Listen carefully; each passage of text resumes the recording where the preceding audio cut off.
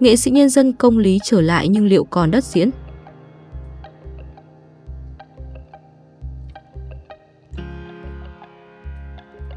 Vợ nghệ sĩ nhân dân công lý chia sẻ xúc động nhân ngày chồng trở lại nhà hát kịch Hà Nội.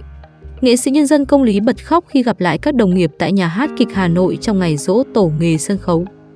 Sáng ngày 6 tháng 9, ba lãnh đạo và các nghệ sĩ tại nhà hát kịch Hà Nội đã tổ chức buổi lễ dỗ tổ nghề sân khấu cực kỳ long trọng và âm cung với sự tham gia của rất nhiều tên tuổi nổi tiếng như nghệ sĩ nhân dân Trung Hiếu, nghệ sĩ nhân dân Minh Hòa và đặc biệt là sự xuất hiện của nghệ sĩ nhân dân Công Lý Phó Giám đốc Nhà hát kịch Hà Nội.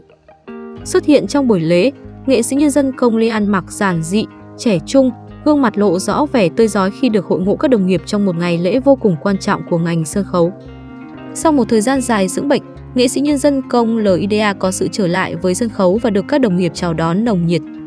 Tuy nhiên trong một số bức ảnh do vợ của nghệ sĩ nhân dân công lý đăng tải, có thể thấy anh đã bật khóc vì xúc động khi được các đồng nghiệp thân thiết vây quanh hỏi thăm tình hình sức khỏe. Theo chia sẻ của Ngọc Hà, vợ nghệ sĩ nhân dân công lý thì hôm nay, nghệ sĩ nhân dân công lý đã tới nhà hát kịch Hà Nội nhân dịp nhà hát tổ chức lễ dỗ tổ nghề sân khấu. Trên trang cá nhân, chị Ngọc Hà viết, bình thường dịp quan trọng này là em bé cách chị Ngọc Hà gọi thân mật chồng mình. Nghệ sĩ nhân dân công lý phóng viên sẽ bảo vợ là lược quần áo thật đẹp và tìm ngay logo nhà hát để cài. Nhưng em bé đang ốm, người đau nhức vì Rona thần kinh nên sáng mình bảo thôi cố lên viện làm giảm đau rồi gần chưa đến cho đỡ mỏi, đỡ khiến mọi người lo lắng. Lên đến cửa, đã có các em đón em bé. Vừa vui, vừa tủi. Em bé nhìn có vẻ khó tính, nóng tính nhưng thật ra là người rất tình cảm và chân tình. Lên nhà hát gặp đồng nghiệp rất vui. Ai cũng thương em bé Lý, mong em bé Lý sẽ được tổ nghề độ để sớm được đi làm lại. Ngồi ăn với mọi người, biết vợ ở nhà ốm nhưng vẫn nhắn tin dặn vợ phải ăn uống. Thương lắm. Nhiều người hâm mộ để lại bình luận động viên nghệ sĩ nhân dân công lý sớm trở lại sân khấu, không ai có thể thay thế được cô độc. Mong anh Lý sớm mạnh khỏe để được xem anh diễn hài. Chúc anh công lý mau khỏe để mang tiếng cười đến khán giả. Chúc anh Lý luôn mạnh khỏe, có thêm nhiều vai diễn hay. Lúc nào cũng yêu thích các vai diễn của anh, Chúc anh Lý sớm trở lại sân khấu. Chúc anh, chị vượt qua thời gian khó nhất. Mong anh công lý sớm trở lại ánh đèn sân khấu. Tháng 3 năm 2020, nghệ sĩ nhân dân công lý chính thức được trao quyết định bổ nhiệm phó giám đốc nhà hát kịch Hà Nội. Nhiệm kỳ kéo dài 5 năm, nghệ sĩ nhân dân công lý gia nhập nhà hát kịch Hà Nội từ năm 1993. Trước khi làm phó giám đốc phụ trách nghệ thuật, anh là trưởng đoàn 2. Tại buổi công bố bổ nhiệm, nghệ sĩ nhân dân công lý chia sẻ Tôi cảm ơn sự tin tưởng của ban giám đốc sở, ban giám đốc nhà hát. Tôi sẽ cố gắng hết sức mình, góp tài năng và sự cống hiến để giúp nhà hát được phát triển hơn nữa và được nâng lên tầm cao mới. Tuy nhiên, đến tháng 7 năm 2021, nghệ sĩ nhân dân công lý phải nhập viện cấp cứu. Trong suốt thời gian nghệ sĩ nhân dân công lý phải nhập viện điều trị, bà xã Ngọc Hà luôn túc trực ở bên để chăm sóc tận tình. Cô cho biết có những khoảng thời gian gặp khó khăn, Áp lực tưởng chừng như sẽ gục ngã như may mắn đến thời điểm hiện tại mọi thứ với vợ chồng cô đều suôn sẻ. Người đẹp cũng chia sẻ về khoảng thời gian khó khăn khi đồng hành cùng ông xã trong thời gian chữa bệnh hơn suốt một năm qua.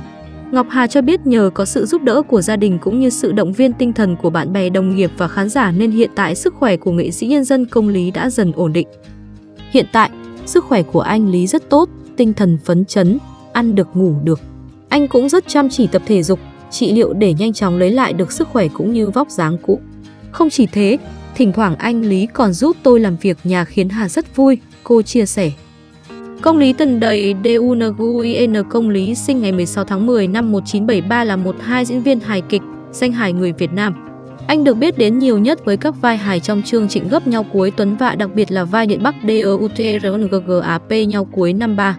Anh được nhà nước Việt Nam phong tặng danh hiệu nghệ sĩ nhân dân trong đợt phong tặng năm 2019 cho những cống hiến cho loại hình kịch nói. Tốt nghiệp trung học phổ thông, công lý đứng trước nhiều sự lựa chọn nghề nghiệp. Anh đăng ký dự thị trường Đại học Sân khấu và Điện ảnh Hà Nội giản vì thích được xem phim. Anh chọn ngành diễn viên vì nghĩ nếu thi đậu vào trường, đồng nghĩa anh có thể tha hồ xem phim. Lúc ấy bản thân công lý cũng chưa hiểu rõ diễn viên là gì và phải làm những gì. Anh cũng không hiểu khái niệm tiểu phẩm là gì và diễn ra làm sao. Công lý dùng người bạn thân đăng ký cùng nhưng đến sát ngày thi người bạn đó đột ngột bỏ ngang. Và chính trong những ngày thi, công lý mới bắt đầu biết nôm na khái niệm diễn viên là gì và phải làm những gì.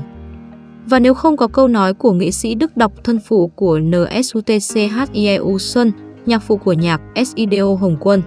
Tôi thấy cậu này có khả năng làm diễn viên, tuy hình thức không thiện cảm lắm thì công lý chắc chắn đã bị trượt chỉ vì vẻ ngoài không được bắt mắt của mình. 3 năm làm quen với nghề, công lý về đầu quân cho nhà hát kịch Hà Nội và trải qua thăng trầm trong nghề diễn. Dù gia đình không ai theo nghệ thuật nhưng công lý lại may mắn có được sự ủng hộ hết mình từ phía cha mẹ. Năm 2011, anh được nhà nước Việt Nam phong tặng danh hiếu nghệ sĩ ưu tú. Năm 2018, anh được Sở Văn hóa và Thể thao Hà Nội đề nghị xét tặng danh hiếu nghệ sĩ nhân dân. Năm 2019, công lý chính thức được nhà nước Việt Nam phong tặng danh hiếu nghệ sĩ nhân dân.